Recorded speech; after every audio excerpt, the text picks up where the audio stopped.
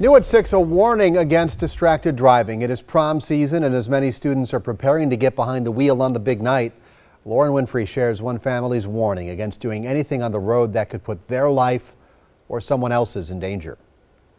Finding the perfect dress and the right purse, it's all a part of getting ready for prom. But for one local student, so is sharing a message about distracted driving. Because you want that big dramatic effect, right? The glitz. Get that dress. The glam, and for high school senior Shakayla Towns, the gruesome details of her sister's death. It's all at the forefront of her mind while preparing for prom. Can't talk about it. Yeah. Shakayla's sister, Savannah Scott, was killed nearly three years ago while in the car with a reckless driver. The driver was found guilty of a deadly hit and run after blowing a stop sign while speeding.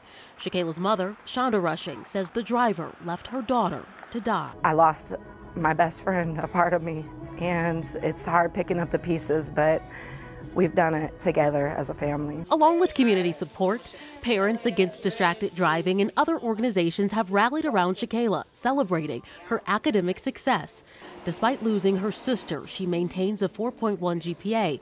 Now the groups are gifting her with a dress and a free prom night makeover. Because I know she's watching over me, so it makes me work harder. Besides reckless driving, Shakayla and Shonda are also warning teens not to drink and drive.